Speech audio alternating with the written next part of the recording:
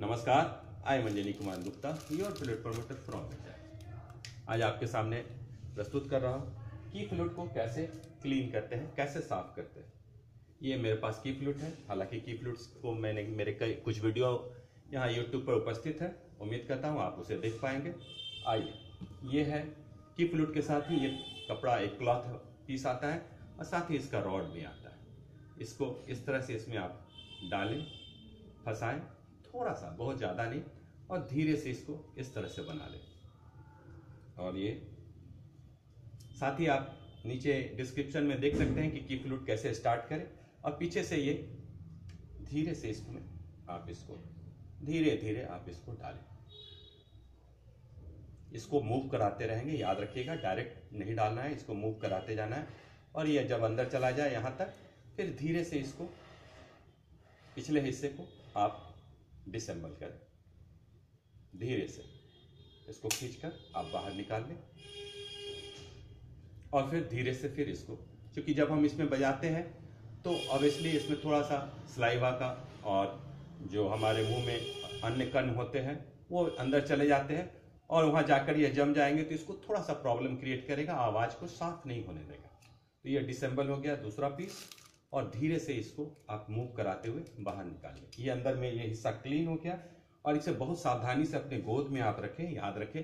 दाएँ बाएँ नहीं रखेंगे क्योंकि इसके अंदर बहुत सारे छोटे छोटे क्लिप्स लगे हुए हैं, ने अदरवाइज़ वो निकल जाएँगे और आपको परेशानी का सामना करना पड़ेगा। और फिर इसे, इस हिस्से को जो माउथ पीस है, इससे भी क्लीन करना है धीरे धीरे ध्यान रखिएगा, आगे यहाँ पर, बहुत आगे तक नहीं जाना है होल से आप देखते रहेंगे। उसके आगे वो टच ना करे। उसके आगे अगर वो टच करेगा तो ये देखिए, यहाँ पिचिंग अरेंजमेंट होता है।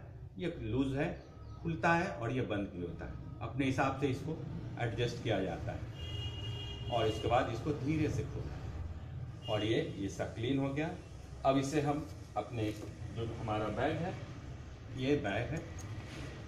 इसे आप देखें हर एक हिस्से के लिए अलग इसमें एक बॉक्स बना हुआ है। उसमें आप इसको असेंबल कर सकते हैं। इसको आराम से रखें।